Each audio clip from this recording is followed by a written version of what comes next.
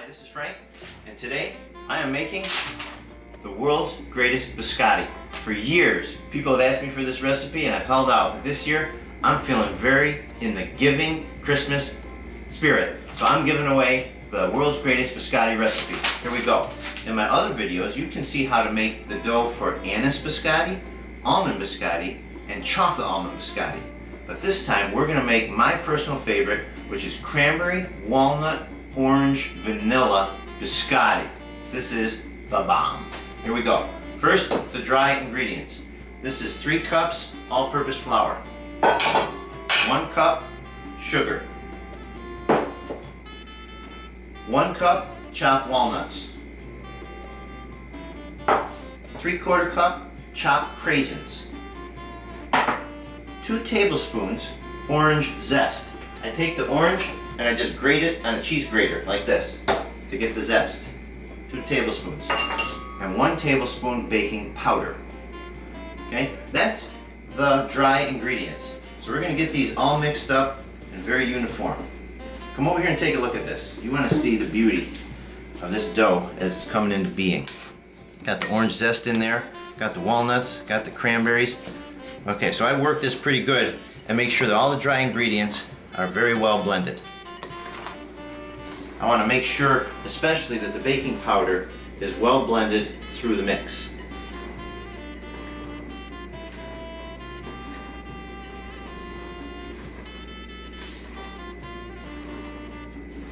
Okay, once I get the dry ingredients well blended, then I put in the rest of the wet ingredients, which include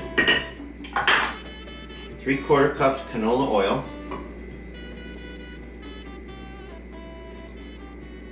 and 3 eggs.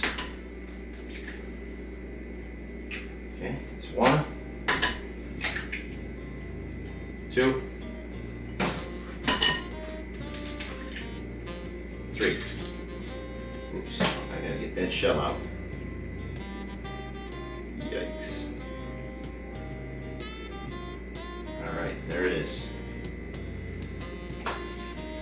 Walnuts are crunchy, but not that crunchy.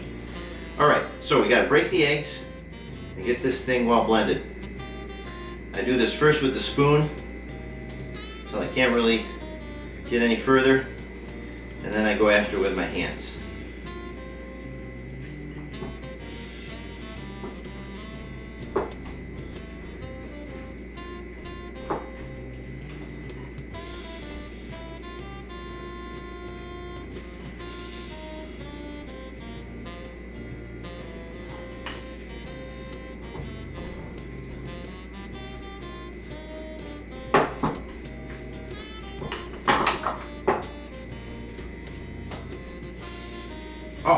Almost forgot.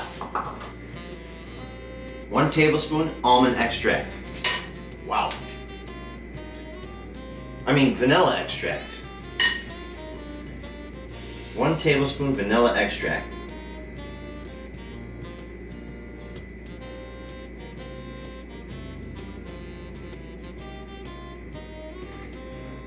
Alright. Ooh. That'd have been tragic.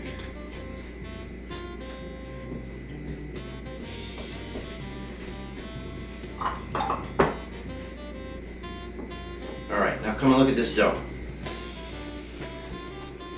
See how nice that's looking? It's looking a little crumbly. That's okay. Now I'm going to mix it with my hands.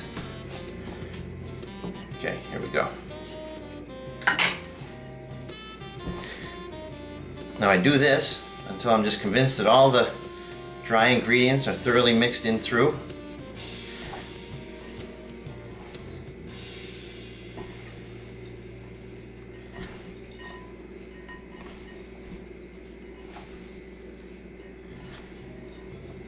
You see, it's kind of like a cookie dough. Not so moist like a bread dough, but not too crumbly so it holds together when it's baking. Okay, that's looking really good. Okay, now I form this up into a ball before putting it in the refrigerator to chill for half an hour. And I get this good and compressed. so that the cookie is dense and so it doesn't fall together when it's baking.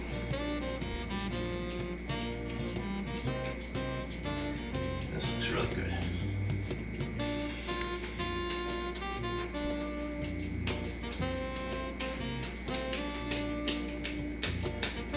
Okay, once I get it formed up into a good tight ball, then I put it in a bowl to go in the fridge for half an hour get a little stiff before breaking it up into two loaves.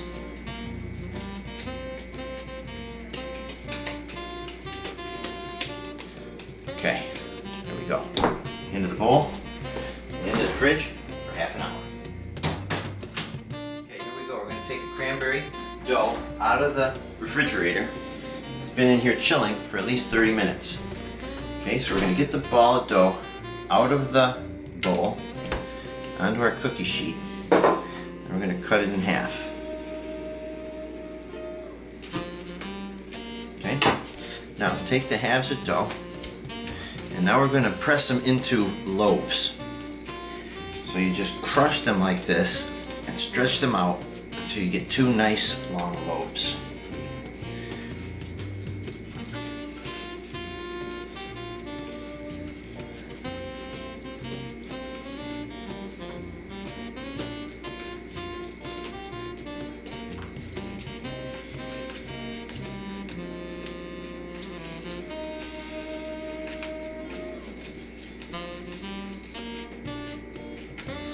And what I like to do is I like to break them free from the cookie sheet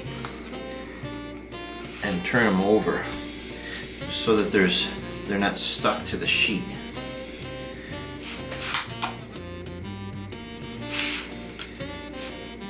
Just like that. And just keep working them. Take your time with this until you get them into two nice evenly shaped loaves they cook they're gonna spread out a little bit so make sure you got enough room in between for them to grow. I like to make the edges of them pretty much vertical. See this here? Because as they grow they'll spread out a little bit and if the edge is too thin it'll burn on the cookie sheet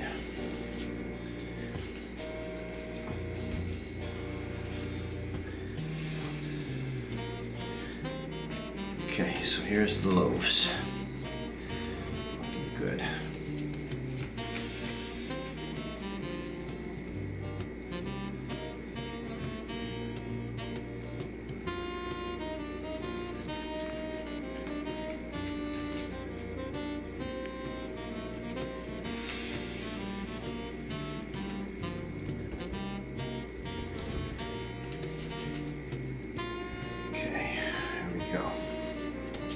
These are going to go into the oven for about 25 minutes until the top of the cookie loaf has become golden brown. This is going into a 350 degree oven for about 25 minutes. Okay, here we go. We're going to take the cranberry, walnut, orange, vanilla biscotti out of the oven.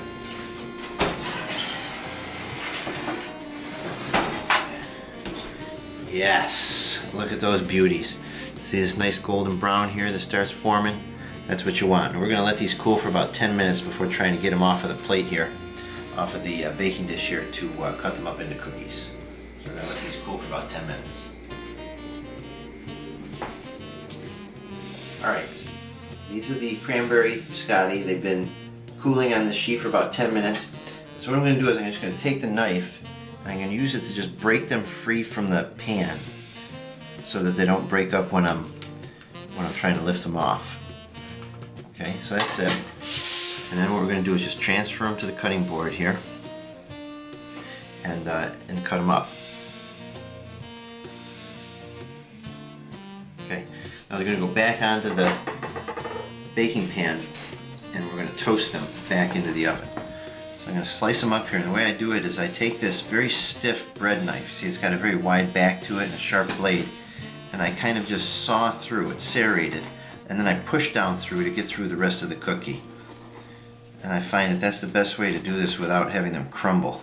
Because that top coat is really quite hard and the inside is still wanna, is still really soft so it wants to break up. I hold them together with my fingers here while I'm slicing them to keep them from breaking.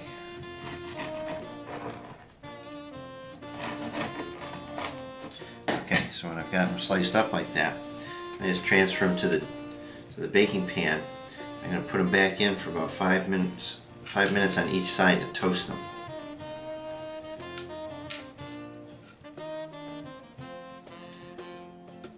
Incidentally, that's what biscotti means, twice cooked. Biscotti, twice cooked. You bake them once and then you put them back in to toast them.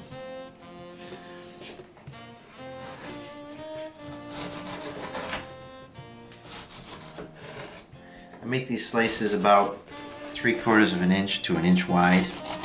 Try to keep them pretty consistent. And if you do that, you should get about 16 cookies out of a batch.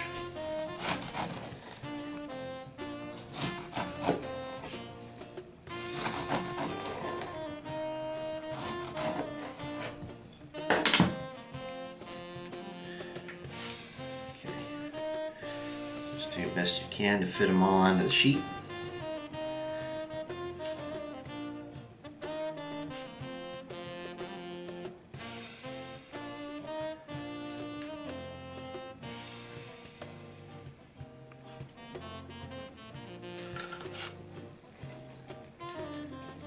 Okay, here we go. Back in for about five minutes or until you see that the bottoms are getting brown.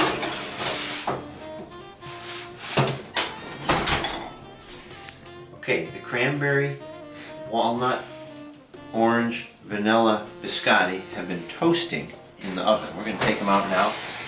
Take a look.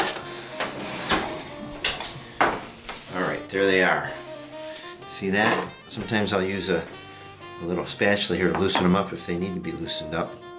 But here's what the other side looks like. See that? See how they're all toasted like that? So you can go in and you can flip them all over and put them back in if you want to toast both sides, which I usually like to do, or you can just serve them up like this. You're going to want to let them cool for an hour or so before you serve them because they're very hot.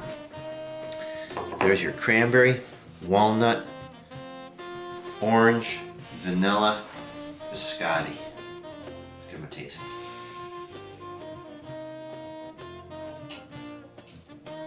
Mm. So good.